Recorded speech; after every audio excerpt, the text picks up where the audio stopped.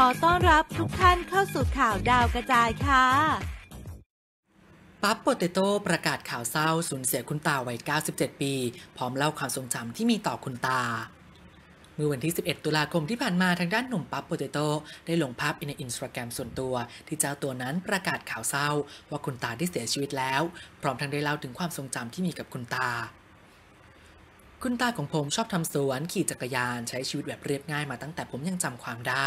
ชอบนั่งรถเมล์ไปคลองถม แกชอบซื้อของเก่าจุกจิก กลับมาบ้านโดยเฉพาะนาฬิกาเก่าๆ และหมวกแก๊ป กลับมาบ้านก็จะอวด ฉันซื้อนาฬิกามาถูกมากให้ถ่ายกี่บาท เป็นประโยคที่ผลทนถามบ่อยๆ และทุกครั้งก็จะถ่ายผิด แกดูมีความสุข ซึ่งเป็นอีกเรื่องที่ผมจำได้ดีสำหรับคุณตาคือคนที่พอใจในสิ่งที่ตนเองมี สุขใจกับเรื่องง่าย ๆ ถึงเวลาที่คุณตาต้องดอกเดินทางไกลอีกครั้ง ผมคิดว่าตอนนี้คุณตาคงกำลังขี่จักรยานคันโปรดรถแล่นอยู่ที่ใดที่หนึ่งอย่างมีความสุข รักและคิดถึง